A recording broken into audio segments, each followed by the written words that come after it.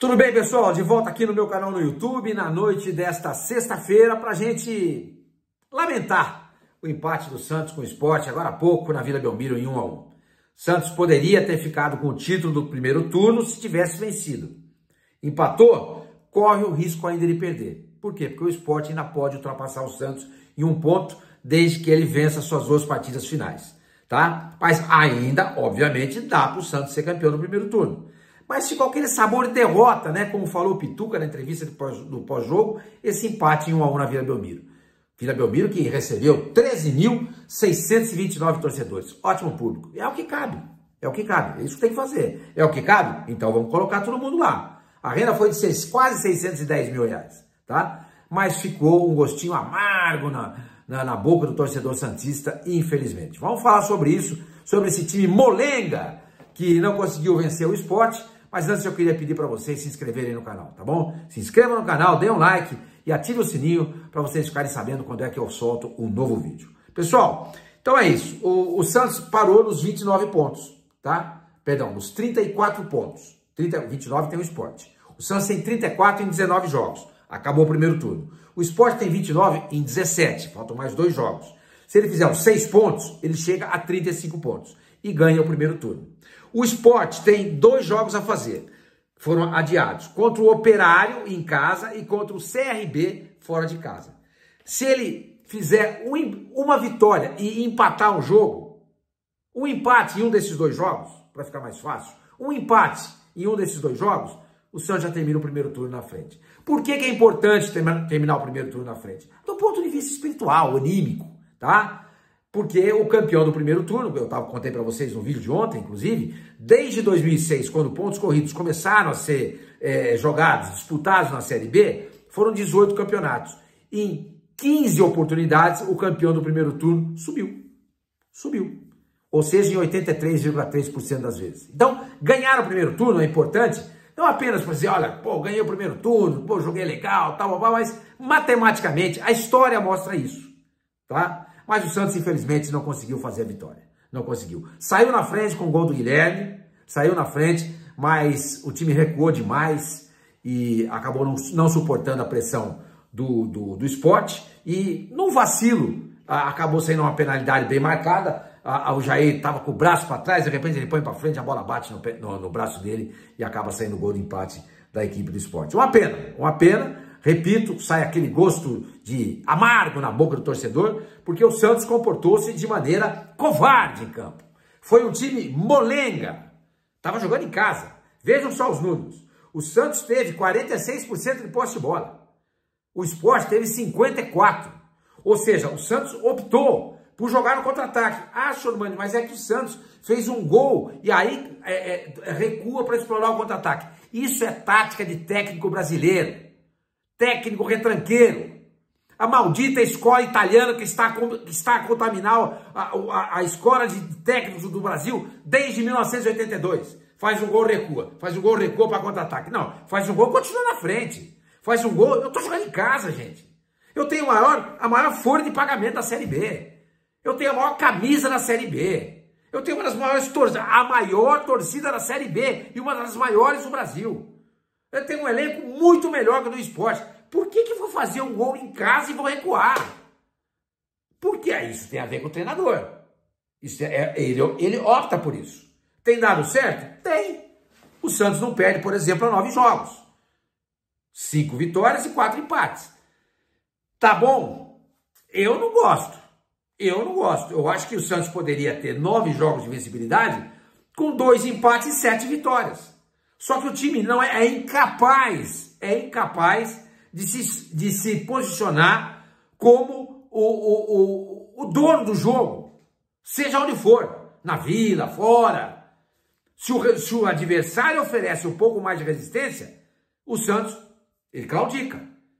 Quando pega um Coritiba da vida, quando pega um Brusque da vida, um Guarani da vida, na Vila Belmiro, goleia. Agora, quando pega um time um pouco melhor, tem dificuldade. Vocês vão ver contra o Novo Horizontino no segundo turno na Vila Belmiro. Vai ser, ó, ó, porque o Novo Horizontino sabe jogar.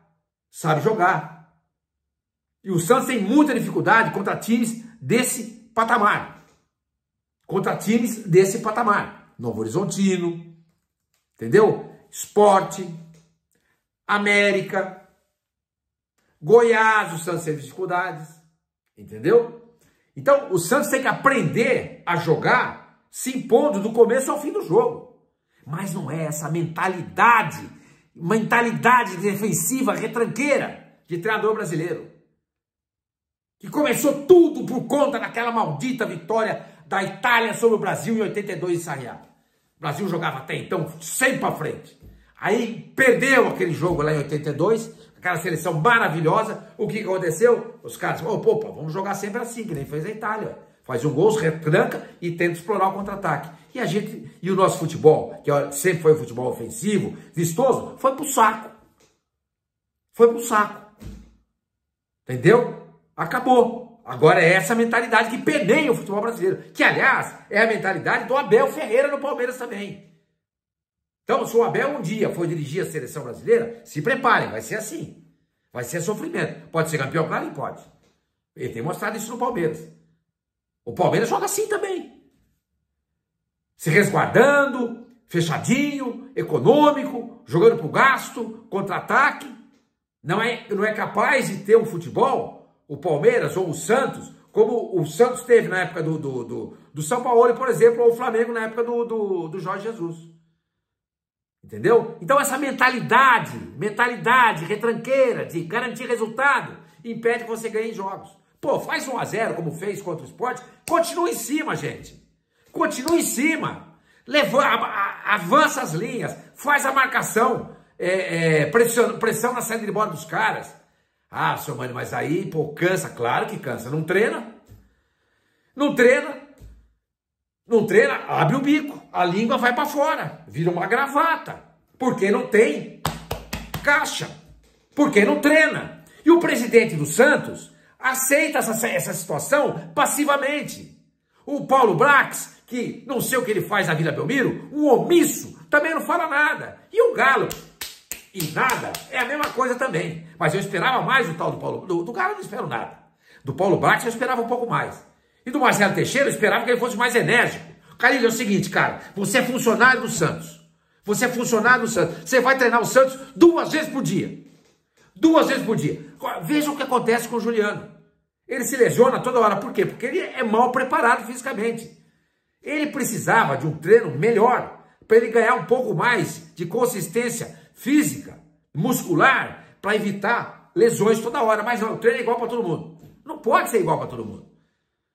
Não pode. O Juliano requer uma atenção especial, porque ele é um jogador importante e vive machucado, porque ele é frágil. Ele é meio parrudinho, parece que ele é forte, mas não é, é uma porcelana chinesa. Bonito por fora, mas por dentro, entendeu? Deixa a desejar. Entendeu? Então ele precisava de um treinamento especial, uma alimentação mais adequada. Como é que é? O pessoal está fazendo tudo isso lá no Santos? Eu não sei. Porque um jogador que nem ele não pode contundir tanto desse jeito. Ah, sua mãe no Corinthians era assim também. É porque aqui no Brasil é tudo assim, meu companheiro. A gente fica aí garganteando, temos os melhores médicos, temos os melhores preparadores físicos, temos os melhores... Temos nada! Jogador vive machucado aqui. Dificilmente você vê jogador encostado na Europa. Ah, joga menos lá. Não joga tão menos assim. Não joga tão menos assim. E o Santos tem uma competição só esse ano. Duas. Teve o Campeonato Paulista, agora só tem o Campeonato Brasileiro, da Série B. Então, gente, pô, precisa trabalhar mais. Precisa trabalhar mais, precisa treinar mais, precisa treinar mais, precisa variar a, a, a mentalidade, é, a postura em campo. Pô, fez 1 a 0 Pô, vai, se lança pra frente, pressiona os caras, faz 2 a 0 continua, faz 3 a 0 4 a 0 Aí você recua, aí você tira o pé, tá 4 a 0 Agora, não. O que acontece? Fez 1 a 0 recuou, para tentar o contra-ataque, trouxe o esporte, o esporte não criou muita chance. Tanto que o Santos finalizou 21 vezes e o esporte finalizou só 10. Porque o Santos estava fechadinho. Mas você sempre correu o risco. Correu o risco e saiu pênalti. Entendeu? Então, outra coisa. O Santos precisa de um meia. O Serginho hoje, que foi o substituto do, do Jean, não jogou bem. Até pedi para vocês ontem, pô, rapaziada, vamos dar uma força aí pro, pro Serginho, vamos apoiar o menino. Mas quando ele joga bem, não tem outro cara. Ele pode ser o terceiro reserva. O Santos precisa ter um jogador para essa posição. Precisa. Já que o Juliano vive machucado, ele precisa ter um outro cara. Agora fica enchendo de contratação de jogador liberada. E o meia? E o Beck? Precisa também. Precisa também. Tá? Pessoal, é isso aí. Ah, vamos curtir esse resto de sexta-feira aí. Vamos torcer para que o Santos comece o segundo turno jogando contra o Paysandu. O, o Novo Horizontino foi lá ganhando 3x1, hein? 3x1. 3 a 1 O Santos vai fora de casa, ele se contenta com empate com o Vila Nova, com o CRB, ele fica super satisfeito com essas coisas. Vamos ver como é que o Santos vai começar o segundo turno contra o Paysandu fora de casa. Tem que ganhar. Tem que jogar se impondo. Não pode ser esse molenga que foi hoje. Culpa dos jogadores também, claro, e da mentalidade do treinador que não é nada boa. Nos vemos.